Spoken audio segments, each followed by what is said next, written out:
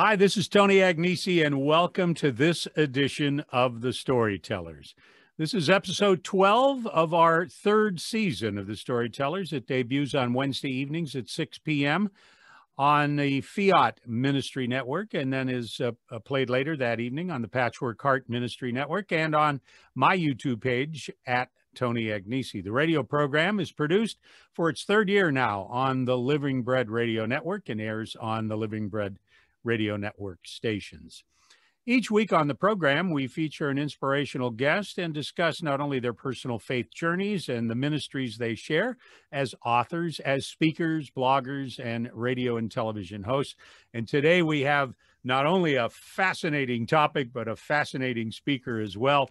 Uh, Jim Bertrand is a um, certified presenter of the American Confraternity of the Holy Shroud. And we're going to be talking about the Shroud of Turin. He has done literally uh, hundreds of talks in 17 or 18 different uh, dioceses on the Shroud of Turin. And for those people who find that subject, as I do, fascinating, uh, you're going to enjoy this half hour. Jim, welcome to the program. It's great to have you on the Storytellers. Well, good day to you too, Tony, and thank you for that, uh, that kind introduction. You know, for those people, and I'm sure we have a few people who are unfamiliar with the shroud, give us a little background uh, to kind of set the uh, stage, if you will, for our discussion today. Sure. What we're talking about is a Jewish burial cloth. And uh, the Jews have been burying their dead the same way for thousands of years.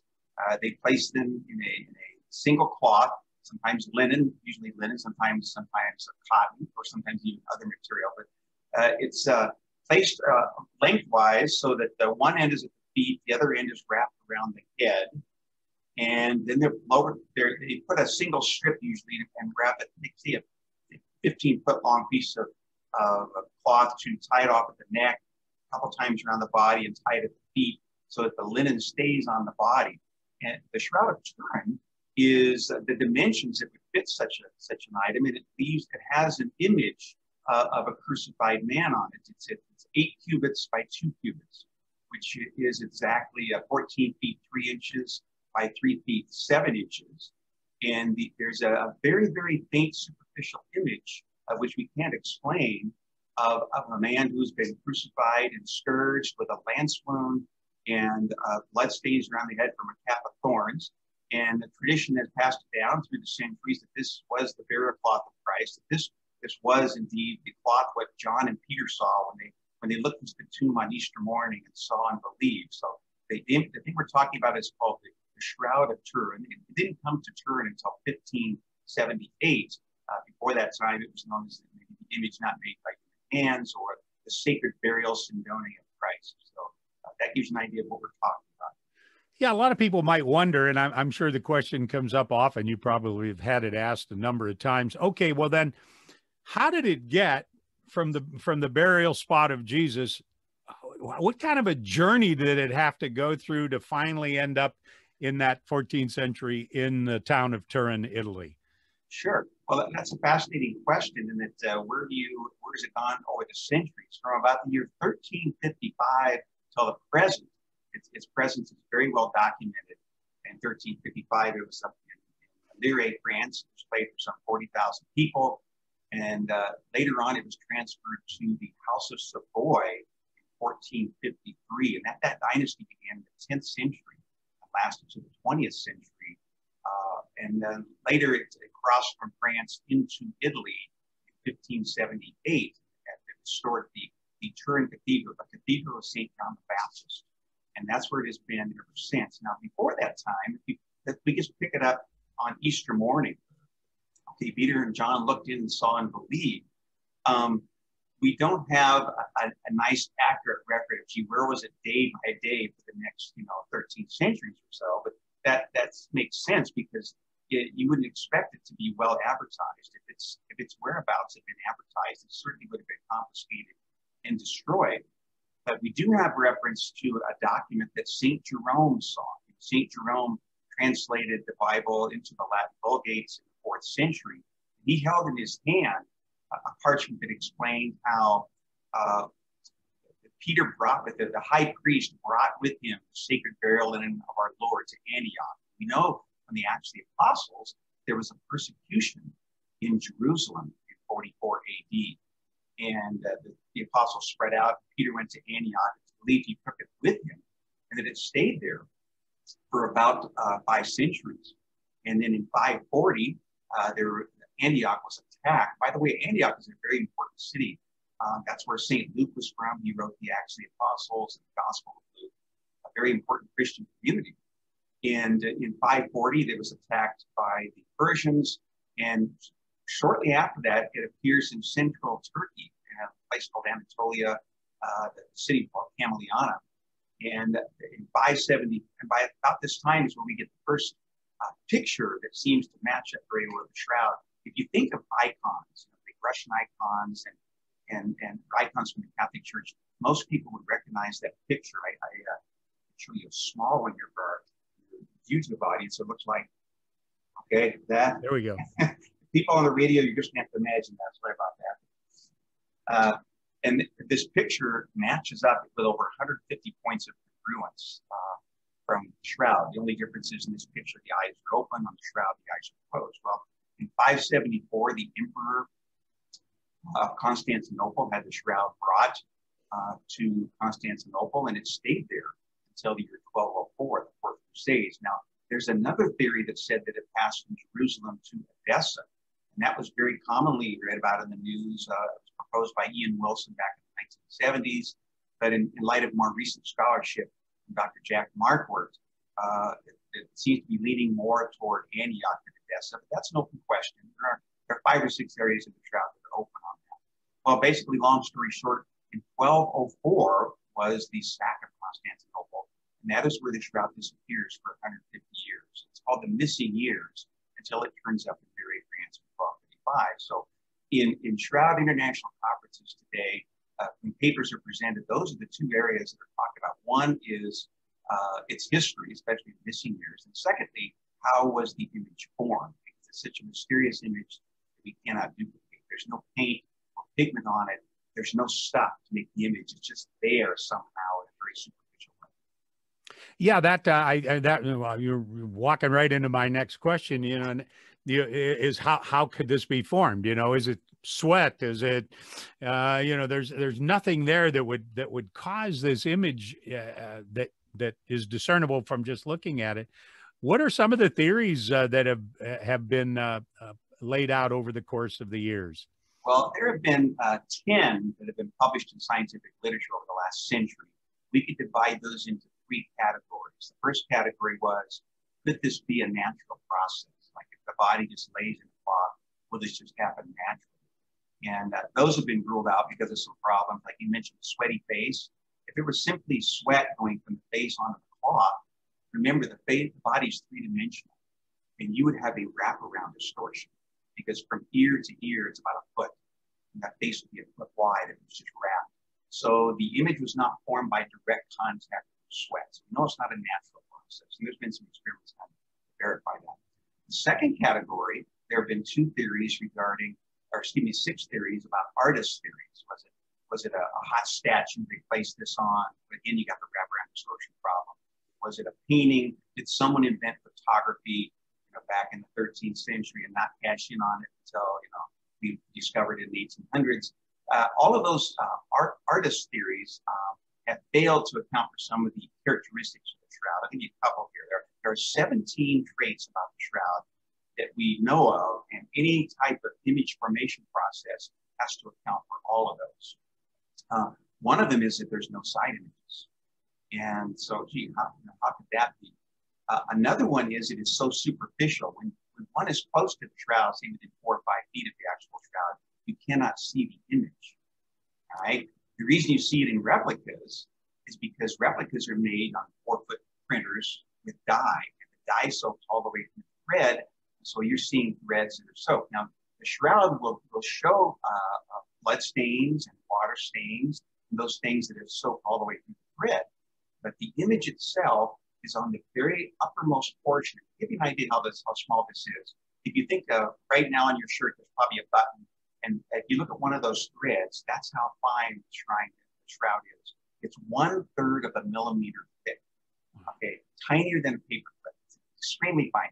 And that one thread is made up of anywhere from 70 to 120 microfibers. Now, under the microscope, if we look for the, the image bearing threads, we find that this yellowing effect only penetrates about two tenths of one micron. And to give you an idea of that, uh, there are a thousand microns in a millimeter. In a millimeter? A millimeter is about the size of a paperclip. Imagine one thousandth of that thickness, right? And then two tenths of that. It's it's it's called superficiality. And this is simply that one of the traits that all of the uh, all of the artist theories have failed to account for, uh, as well as many other traits that they can't account for as well. Uh, another one, uh, the other third category is what we would call a radiation event. We call that the resurrection, if you will. Was there some type of radiant event in which energy burst from the body and somehow put this image on there superficially, whether it was photons of light or electrons from a, a of discharge or uh, photons uh, in a type of, uh, or neutrons, excuse me, neutrons from a neutron flux. Uh, the most popular of these theories, that the one that explains all 17 traits, in fact, the only theory that can explain all 17 traits of shroud is what is called the fall through hypothesis proposed by Dr. John Jackson in 1989.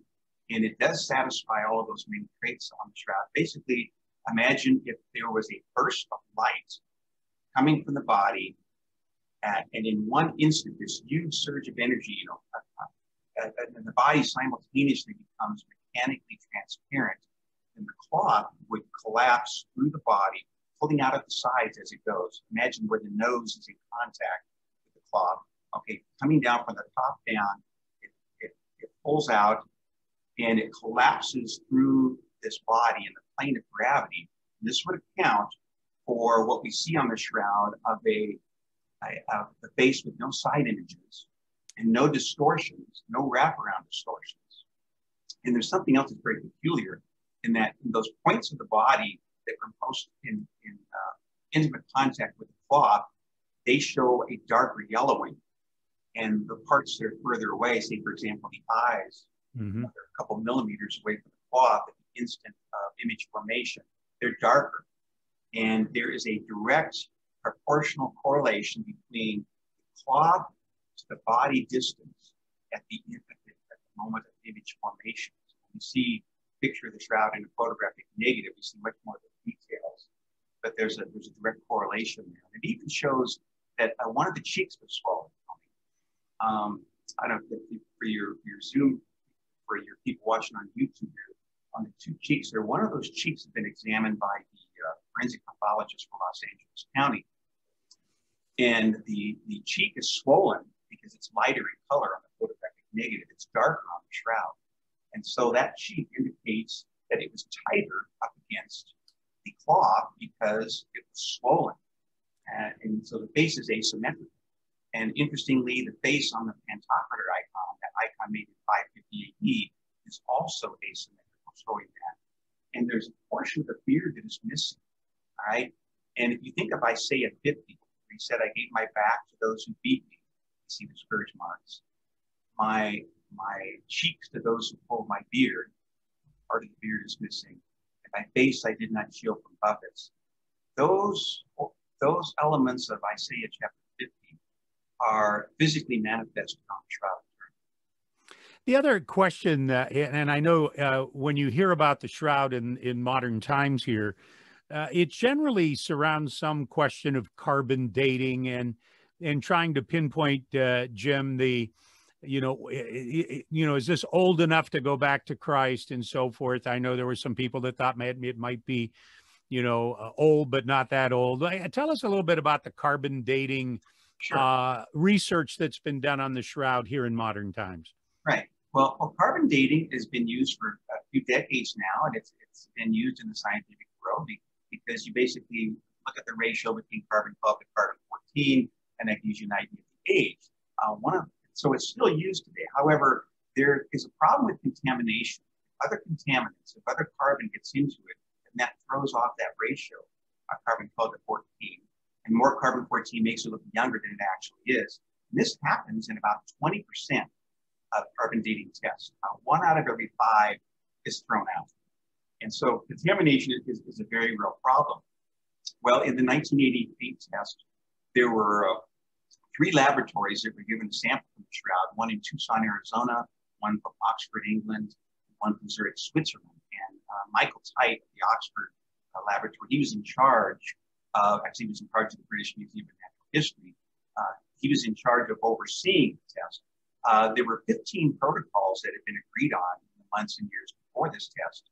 Uh, and all 15 were violated in that test. They were supposed to take samples from three different sites on the shroud. And instead it came from just one site in the lower right-hand corner by the right foot, which was where it was normally held, was held by people to display. It was later to determine that the most contaminated, worst possible location that could have been chosen. And that was the, the only site that was chosen. And it's darkened because of handling, not because of a fire or anything like that. And those samples were all about the size of your thumbnail. And those were published in 1989 uh, I won't go through the 15 protocols that were violated, but, but there was the information leaked out. There was data sharing between the labs that were supposed to be confidential, that they were talking about this behind of thing. Anyway, when that came out in 1989, it, indicated that carbon dating, uh, say, uh, about 1325 plus or minus 65 years. And so that made headlines, of course, Travis hoax and so forth.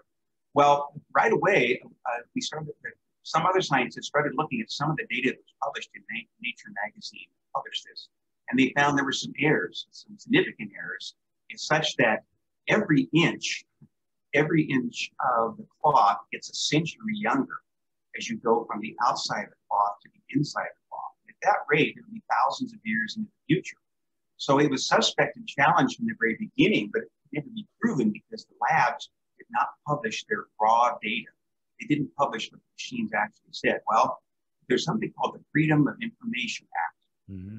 It's a, a, it's an international law, and a European by the name of Tristan Casabianca was able to invoke that law, and the courts opened, of course, the, the labs to share their data. And indeed, uh, when, the, when the true data was shown in 2019, the, the discrepancy between the, the, that was supposed to be adjacent to each other, all these little pieces were so heterogeneous and disparate that they did what's called a chi-square test on it. What are the chances of that happening? Uh, almost infinitesimal. It's called significant deviation. There's acceptable deviation. You can be off a little bit, and then there's significant deviation. This showed significant deviation. So it, the test was always suspect, uh, but it was it was proven to be invalid in 2019. So in the scientific world, carbon dating test of 1988 is no longer an issue but my guess is among the general population, there are people that probably think it's still a undecided 50 50 thing. Yeah. It's simply not the case. Um, let, let's talk a little bit about what makes the shroud so relevant today and why are so many people inviting you to to speak what what what is the attraction in 2020 of the shroud of turin sure well you know many people have have had a difficult year of living in isolation living in fear and when we get so distracted by you know the moment to moment things that we're going through, we lose track of the big picture. You know, where am I going? I'm going towards eternity. You know, we're going to step into eternity. And what the shroud does is it provides this very real cloth with a real image of who we believe to be Christ. by the way, he was five feet ten inches, about 170 pounds. It makes Christ very real. I, I gave this to a seminary once. Seminarians came up and of course, all of them believe in the real presence of course, but, but to see the man on the shroud and it was, it was real blood and, and was, uh, all of those things that go along with that, it just reinforces for them, you know, the, the re- resurrection of Christ. And this image, we believe, um, you know, the tomb was empty. We believe that Christ rose from the dead. So the shroud is a sign of hope. And when we see the image on the shroud, we consider the reality of the resurrection, because you see, our faith rests on the reality of the resurrection and not on the authenticity of the shroud. Okay, but the fact that the two may you know, both uh, complement each other should be all the more reason to give us hope that sure we may be going through tough times now, but but in the end, there's this we're going to step into eternity and uh, hopefully be in eternity united with God. So there's a great sign of hope. Jim Bertrand is my guest. Jim, um, what, what's fascinating to me, uh, tell us a little bit about your background, um, eh, preparing you to to do the work you do with uh, with uh, speaking and touring with the shroud, uh, the uh, subject of the shroud. But how is um, how has it affected your own personal faith journey? With all the knowledge you've gained on the shroud, has that had a personal effect on your faith journey? Yeah, you got a few questions there, the, the background and then the effect on me. I, I would say that the majesty of this face and the fact that uh, after studying it for some 30 years, uh, seeing that uh, a natural process is ruled out, it just doesn't happen on its own. You see more of these. And secondly, all of the artist theories that fail to account for all of these unique characteristics. There's 3D information on the shroud as well. Like I can't, I've got time to go all through 17 grades. So if you rule out an artist's drawing, if you rule out a natural process, you know, what's left? What's left is a supernatural event of the resurrection, perhaps caused by a burst of light, a rise in Christ. And if you think about that, we all are familiar with, I talked about the mechanically transparent body. If there was a burst of light coming from the body and it collapses through this mechanically transparent body, Think how Jesus appeared to the apostles on Easter night. They're locked in the upper room, right? And he comes among them. How could that be? Well, if he had a resurrected body, it was a transparent body, no longer subject to the laws of nature, and so the door presented no obstacle. So then, okay, so we accept on faith that he appeared to the apostles on Easter night. Then the question becomes, when did that moment begin that his body acquired this its unique ability. Well, if it occurred at the instant of the resurrection, then this would account for a vertically aligned 3D image with no side images for the entire body, entire head to foot. There's no side images in a very, very superficial way. To give you an idea of how much energy we're talking about, uh, several physicists have written on this and published papers. It would require every laser on Earth uh, to be concentrated on this cloth for 40 nanoseconds, which is 40 billionths of one second. So it's an instant that is just so minute that we, we can't imagine someone trying to pull that off. And so all of that light and all of that brief period of time could somehow perhaps dehydrate the fibers and cause them to yellow to leave this image of two tenths So the, the, effect on me is that, uh, you know, I, I, believe in the resurrection with or without the shroud. But with the shroud, I think you know, maybe God has given it to us for a reason to, to strengthen our faith and certainly give us a reason for hope. Uh, my background, Tony, I, have been teaching high school science for 39 years. I, have taught biology for 32 years at the high school level, and I, I taught physics and chemistry the last seven years. So that's where I'm coming from on that. And uh, in 19, back in 1981, is when I first got interested in shroud. There was National Geographic magazine uh, presented this this article on Dr. Jackson's research. In 1978, there were 33 scientists he led, and they studied the shroud for 120 consecutive hours. Uh, around the clock, there was always several scientists working on it. To this day, that remains the most comprehensive, factual uh, study, survey we've ever done on the shroud. And they were trying to answer the question, how was the image formed? After, after three years of publishing their data, they could not answer that question, but they did determine these three facts. Number one, is that it is uh, is not a painting. Uh, number two, there's no paint, there's no pigments or dyes. It's not the work of an artist. Number three, there's no there's no physical means that can account for the totality of this image. And so that, that kind of hooked me in terms of wow, this was how else to explain this? This could be a real thing. And so studying it for years, I in 1996, I invited Dr. John Jackson to come speak in my, my parish. And so he Colorado Springs to Lincoln, Nebraska, and he gave a presentation at St. Peter Parish. We became friends, we hosted him, and we stayed in touch over the years. And he has about more than four decades of research that's been combined into a book called The Shroud of Turin Critical Sin-Ring. And this book was, uh, was basically assembled and edited by an engineer named uh, Robert Seeker, a very good friend of mine. And they invited me to come to the Turin Shroud Conference in St. Louis, Missouri, an international conference in 2014. And at the end of seeing all of those 42 papers presented by scientists, they asked me, could you, could you take this book, it's, it's 134 pages, and could you put it into a PowerPoint that we can share with people? And I agreed to that, and I started working on that November of 2014, uh, actually October of 2014. I've been doing it ever since. And I have to tell you, Tony, that the foundation of this is really prayer. Um, my first seven presentations were to religious communities. And as I shared this PowerPoint with them, uh, the nuns and sisters, I asked them to pray for me on Fridays. So they prayed for me on Fridays. And that's kind of the foundation that's lifted and opened doors, lifted me up and opened doors in other venues, uh, high schools, universities, college settings. I've, I've, given them in men's and women's prisons, uh, uh, lunch groups, uh, just you name it, all kinds of people. The shroud appeals to everyone. It really does. We're, we're yeah. almost out of time, and I wanted to give you an opportunity here before we run out of time of how I, I, I, if somebody who is watching or listening wants to to make a uh, get you to make a presentation in their their their state or their parish or for their organization, how do they get in touch with you? Sure. Well, I don't have a personal website, but I can give you my email, and that's usually the way it works. They send me an email, and they invite me out, and I come out and give the presentation. And I don't make a dime from this, Tony. I've been doing this for years. I, I don't make any money at all. Uh, ask people to cover my travel, you know, and I come some, sometimes stay in post homes. And then if they want to make a donation to the confraternity, they may. But whatever amount they're comfortable with, we're comfortable with. That email address is bsaints2 at gmail.com. B E S A I N T S, number two, at gmail.com. And they can reach me there. Jim, thank you so much for being with us. Uh, this has been a fascinating half hour, and uh, really, I really, really enjoyed it.